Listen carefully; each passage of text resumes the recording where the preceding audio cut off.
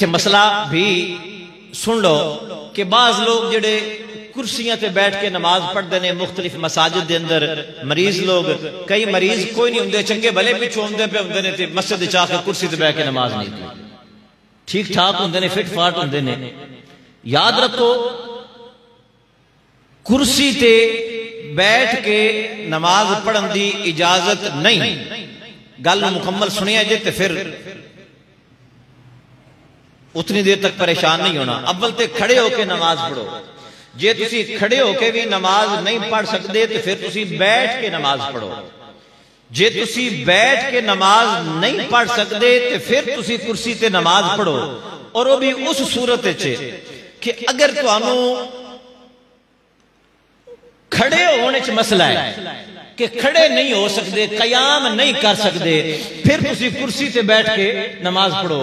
ਤੁਸੀਂ ਕੁਰਸੀ ਤੇ ਬੈਠ ਕੇ ਨਮਾਜ਼ ਪੜੋ ਅਗਰ ਤੁਸੀਂ ਖੜੇ ਹੋ ਸਕਦੇ ਹੋ ਤੇ ਫਿਰ ਤੁਸੀਂ ਕੁਰਸੀ ਪਿੱਛੇ ਰੱਖ ਲਓ ਅੱਲਾਹੁ ਅਕਬਰ ਕਹਿ ਕੇ ਕਿਆਮ ਕਰੋ ਰੁਕੂ ਕਰਨਾ ਹੋਵੇ ਤੇ ਫਿਰ ਤੁਸੀਂ ਕੁਰਸੀ ਤੇ ਬੈਠ ਕੇ ਰੁਕੂ ਕਰੋ ਕਿਉਂਕਿ ਤੁਹਾਨੂੰ ਖੜਿਆ ਹੋਣ ਦੀ ਪ੍ਰੋਬਲਮ ਕੋਈ ਨਹੀਂ ਪ੍ਰੋਬਲਮ ਉਸ ਤੋਂ ਅੱਗੇ ਰੁਕੂ ਤੁਸੀਂ ਨਹੀਂ ਕਰ ਸਕਦੇ ਤੇ ਫਿਰ ਤੁਸੀਂ ਕੁਰਸੀ ਤੇ ਬੈਠ ਕੇ ਰੁਕੂ ਕਰੋ ਤੇ ਜੇ ਅਗਰ ਤੁਸੀਂ ਰੁਕੂ ਵੀ ਕਰ ਸਕਦੇ ਹੋ ਸਜਦਾ ਨਹੀਂ ਕਰ ਸਕਦੇ ਕੋਈ ਮੋਹਰਿਆਂ ਦਾ ਮਸਲਾ ਹੈ ਕੋਈ ਕਮਰ ਦਾ ਮਸਲਾ ਹੈ ਤੁਸੀਂ ਸਜਦਾ ਨਹੀਂ ਕਰ ਸਕਦੇ ਰੁਕੂ ਕਰ ਸਕਦੇ ਹੋ ਤੇ ਫਿਰ ਕਿਆਮ ਵੀ ਕਰੋ ਖੜਿਆ ਹੋ ਕੇ ਰੁਕੂ ਵੀ ਠੀਕ ਤਰੀਕੇ ਨਾਲ ਅਦਾ ਕਰੋ ਸਜਦੇ ਵਿੱਚ ਜਾਣ ਦੀ ਤੁਹਾਨੂੰ ਮਜਬੂਰੀ ਹੈ ਸਜਦਾ ਤੁਸੀਂ ਉਦੋਂ ਕੁਰਸੀ ਤੇ ਬਹਿ ਕੇ ਸਜਦਾ ਕਰੋ ਜਦੋਂ ਇਮਾਮ ਦੂਸਰੇ ਸਜਦੇ ਵਿੱਚ ਸਿਰ ਚੁੱਕ ਕੇ ਤੁਸੀਂ ਫਿਰ ਖੜੇ ਹੋ ਜਾਓ ਨਾ ਕਿ ਉੱਥੇ ਕੁਰਸੀ ਤੇ ਹੀ ਬੈਠਾ ਰਹੇ ਇਹ ਤਰੀਕਾ ਹੈ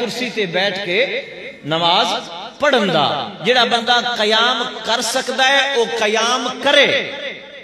तो तक उलमा कराम ने लिखा है कि अगर ओदी सेहत इतनी की इजाज़त देती है ना, कि वह खड़िया हो कि अल्लाह अकबर कह सकता हो तो अल्लाह अकबर खड़िया हो कि कहे तो फिर बह जाए।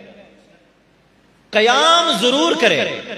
तो साढ़े चंगे भले हट्टे कट्टे होंगे कुर्स भी आप चाह के लिए होनी इतनी कुछ सेहत इजाज़त देती है।